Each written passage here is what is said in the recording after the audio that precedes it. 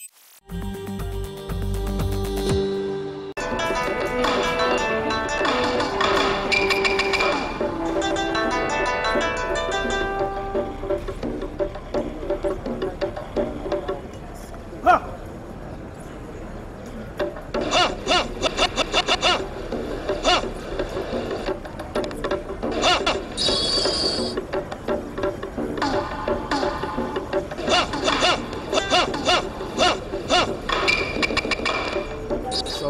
my name is Shunsuke Nakamura, and the software name is Kagura.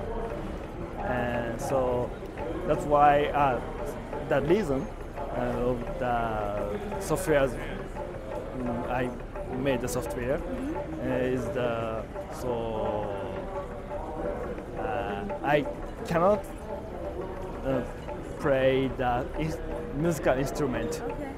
So I won't play so much.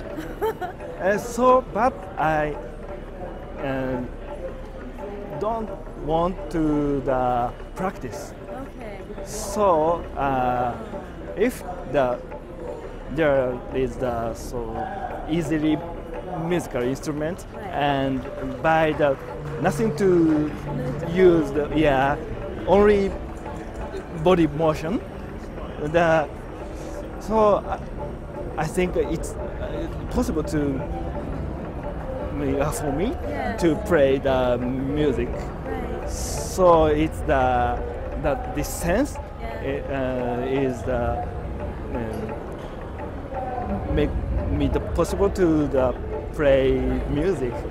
I haven't played such a fun RealSense game pretty much ever. So I was a judge on the first perceptual computing challenge by Intel, and these are the games that have come out of the second one. And so this is Kagura.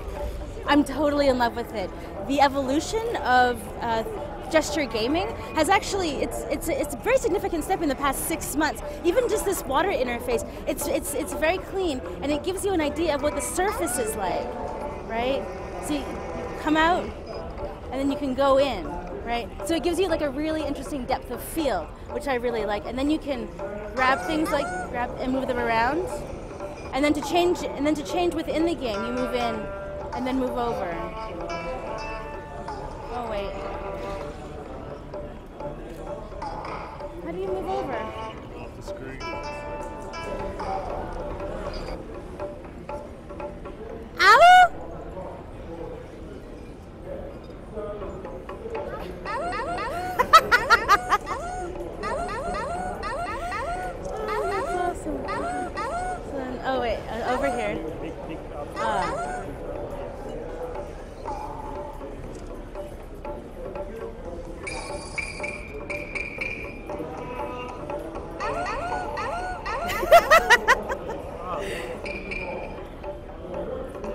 And then I can, and then it's is it like this to, to?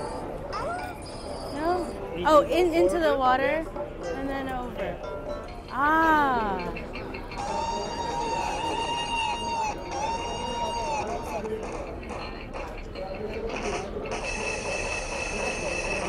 Oh, very cool.